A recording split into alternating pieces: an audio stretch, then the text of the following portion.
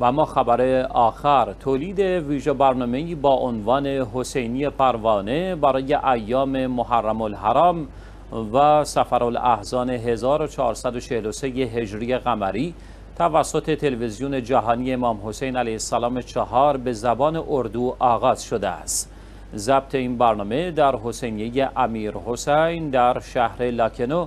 در کشور هندوستان با حضور حجت الاسلام و المسلمین شیخ مصطفی ادیب الهندی و اجرای سید عطا عباس آبدی آغاز شده است. هدف این برنامه آشنایی بیشتر جامعه اردو زبان با شخصیت و رشادت های شهدای واقعی کربلا است که جان خود را در راه احیای دین و مقصد امام حسین علیه السلام فدا نمودند در این زمینه به زمان در این زمینه به زبان اردو کمتر فعالیت شده لذا تحقیقات و پژوهش های زیادی برای تهیه این برنامه توسط کارشناس آن صورت گرفته و در قالب یک کتاب آماده شده و سپس این برنامه شروع به تولید شده است.